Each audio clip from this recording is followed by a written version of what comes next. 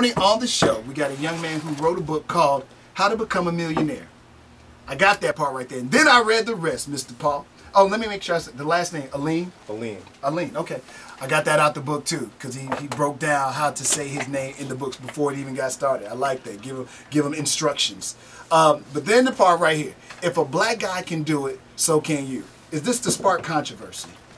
Uh, yeah, I think based on what's going on in the world right now, particularly in America, where there's a lot of conversation about race and you know Black Lives Matter, I wanted to come out with a message that had some positivity to it, meaning that hey, if you decide that you want to build the life that you want, hey, this is the way that you do it. Okay, because when we first saw, we like, wait, is this implying that if you black, you can't be a millionaire? And then we looked at stats and the likelihood of somebody black becoming a millionaire uh, when it comes to other races. Yeah, as a percentage point, yeah, there's a little bit of a um, diff- there's some difficulty there. Right. Right. So I saw that. I'm like, oh, I wish that was in there too. So because I don't want somebody to see the book and get the wrong impression. Yeah, the about title, the message. Yeah, you the know what I message, mean? the title, you know, it sounds controversial, maybe a little bit self-deprecating or self-hating. Right, right, right, right. But it was really meant to say that you know the odds are really stacked against you as an African American in the country of becoming a millionaire. But the way you have to think about it, you have to say, well, I was made to be somebody, and I was made to do something, Hmm. and so you have to go inside yourself and say, okay, what is it that I can do Okay. that I can bring value to society? Okay. Now, when you wrote the book, did you have a particular pers- people, person, individuals, uh, creed, color, uh, sex in mind when you did it, or did you just start writing from the heart, saying, "I want to write a book about how you can become a millionaire too"? Uh, I think my book was meant for a wider audience Right. because I think everyone needs money. Money affects the way that you live. It affects the choices that you can make. But the reason I wrote it from my perspective is that uh, many times you're labeled and put into a box, and I don't want to be contained in a box. Just because I'm black doesn't mean I can't do other things. And so it, it was really meant for people to, you know, escape that way of thinking. Just because I'm black, I'm female, I'm Muslim, I'm, you know, transgendered, I can't have certain things in society. I don't buy into that. Okay. So when did you realize you could become a millionaire? Okay. What age? Uh, I think, you know, I grew up in inner city New York, and as you grow up, when you're growing up, I don't think most kids are aware of I'm rich, I'm poor, I'm a have, I'm a have not. But as you get older and you see your friends who have different experiences and where they live, you then get exposed to wait a minute, uh, you know, I'm not really where other people are. Right. And so you decide that, you know, and then also growing up with a single mother, realizing, seeing how hard she worked to get me where I am, I realized that, hey, you know, I want to have uh, financial independence such that I can build the life that I want. Okay. Uh, you are already in the corporate world.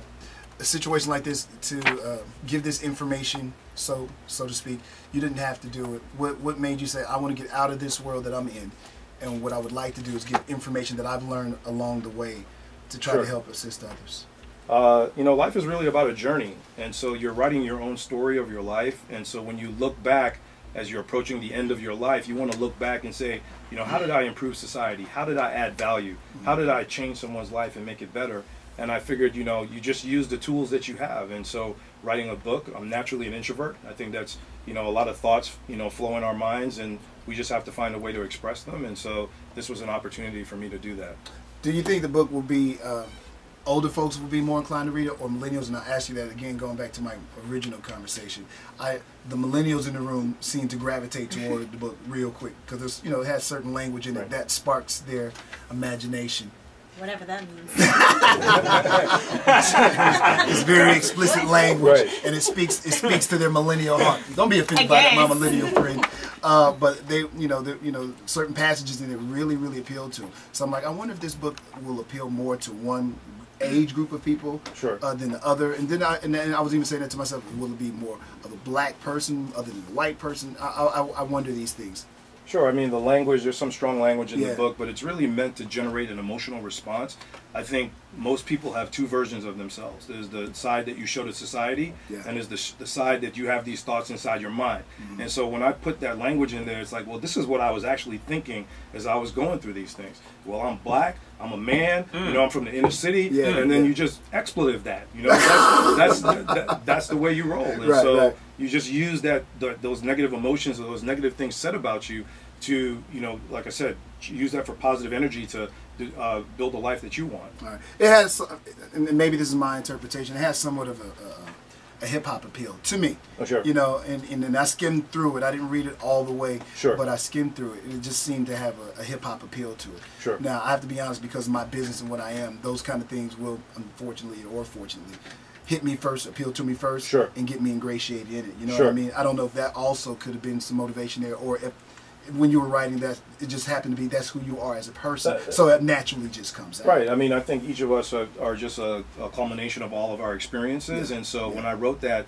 that's just how I was living it, and you know how I experienced it, and just you know I have a reference to um, Lil Jon in the book. You know. Yeah, You know. and- I saw the 50 Cent one. Right, right. Yeah. And so you just see how these guys have done certain things. I have athletes in there. Mm-hmm.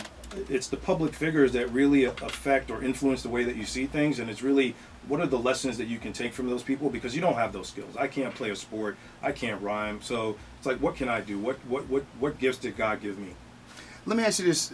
I, we don't get taught in school. We learn a lot of things in school. A lot of the things that we probably should be taught in school, we do not learn. We get a, we get a, a misguided look at history as well. Uh, if you could be uh, uh, one of the folks that is that are involved with the you know the books that they have in school, uh, would you institute some kind of program where they learn about money? Because I think we lack that in the education of people. We got adults that still don't know how to pay bills. Sure. You know what I mean? Uh, uh, they t- don't understand, you know, the rate when it comes to credit cards and Sure. all these things that seem to be basic to some communities, but to others is a complete blur. Uh, it seems to me, and I'm just curious as as with your thought process on that. Shouldn't that be something that is a part of school as well, learning about money, so we can create these young millionaires? Yeah, I think that's important, and I, I think what you're focusing on is money management, meaning that okay, well, I have this amount of money. How do I pay my bill? Uh, I have credit card debt. How do I pay that down? I'm more focused on a lot of people just don't have any money. Right, right, right, right. So right. they don't really can't really make any decisions. And so if I were to go back and say if I was uh, dealing with school age, particularly college age kids, it really would be about okay, there's a difference between knowledge and skills. You know, I look at someone like you. I don't know much about your background, your education, but you have the skill to capture an audience in the fourth largest city in the United States. Right, right. And and that skill that you have can be used in other um, venues as well. It just doesn't have to be radio. And so it's just a matter of using what you have and using it in different environments and figure out where do you get traction. Right? Mm, So you're looking at him. How can you help him become a millionaire? what you know right now. Again, Your it- comment would assume that I was not a millionaire already. There goes that fly talk. The audience knows you're a millionaire. Whatever. Okay, me then, guys. I'm poor. I'm agreeing with J Mac. So wait, how did you become a millionaire? Okay, that's there you go. Uh, so, long story short, you know, I kind of did it the traditional way of, uh, you know, I went to college and then I decided to become a doctor and I went to medical school. Um, and then I became an emergency physician. But that's not really the way that I built most of my wealth. It's really through owning businesses, right? Um, because, you know, even as a doctor, and believe it or not, most radio listeners may not believe this, most doctors are not millionaires. Um, they may I make believe a they make a lot of money, but they also have a, a lifestyle that they have to maintain that shows that hey, I've made it with you know big homes, expensive cars, kids in private school, and so at the end of the day, there's not a lot of money left over. Um, and so the key, one of the things I talk about in my book is that you need to have ownership. No matter what you're Oh. doing, you need to have ownership. You can't just be an employee of a business. God, and dog, so that's my first mistake right there. Ah. okay. I'm getting closer and closer. What's the next bullet point, Paul? 'Cause I'm taking notes on that too. Next. Hear him out, Jay. Hear him out. He's not saying you're a loser. He's not finished yet. Go ahead, and, sir. And, and I say millionaire because I think a lot of people in their mind believe that okay, millionaire is where I want to be because that's what it means to be successful. Mm-hmm. But what's more important to me is that people reach whatever level of success is meant for them. Yeah. Maximize their financial potential based on the skills that they have. You got can't, you can't really walk in someone else's shoes. Okay. You can now. only you can only be you. What would be your suggestion to some somebody somebody young boy that I mean young jazz just starting out, uh, straight out of college, trying to make it happen. Two years out of college. She Three is years. she is a millennial. Don't get offended. I'm just saying. I don't know. Uh, but she's on her rise. What would at least give her like three main things? And, and, and I know there's so much you can learn out the book. And I would, by the way, the book is uh, out real quick. Where can they get the book? Where's it out at? Uh, the book went on sale yesterday, and you can get it on Amazon, BarnesandNobles.com, and iTunes. All right, give her give her one or two gems out of your book that can help her get on this fast track of wealth. Fast track. Fast track. well, I think she did the first thing. Um, according to statistics, you know, African Americans have a one in fifty-two chance of becoming a millionaire without a college education. Wow. The fact that you went to college improved your chances to My one in sixteen, and so that's the first thing. What? One in sixteen. Right. Wow. And so, you know, you're at a young age. I see you in radio. The advice I would give you is Get learn- out. Cut that part out.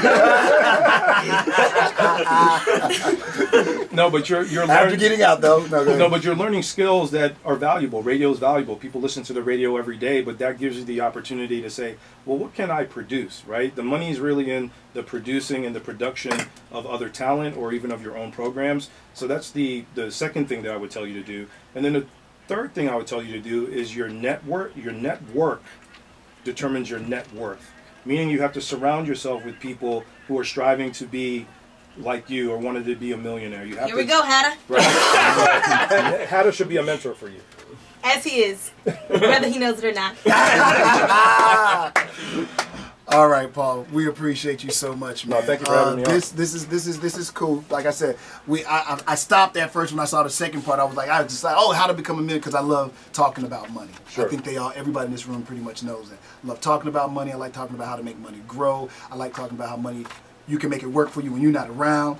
Uh, your money to me, it should be doing things when you ain't doing things. And, sh- and revenue streams, I'm into all that stuff. Sure. So I'm always a big proponent of information that teaches you how to keep it, how to make it Sure. and and, and, and of course starting off at some level because everybody like you said they, they don't start off with a million dollars Right. we all start off broke so sometimes the first step is let's figure out why we continue to be broke and we can't pay our bills and all these little things you know because i started off just getting me savings bonds back in the day Sure. not that i suggest that to everybody that was just my way to start saving money Sure. but that's why i appreciate books with this kind of information in it and it's always great to see somebody of color make these books too because I think what we lack is seeing people like you who are millionaires who have been in the business world who have succeeded.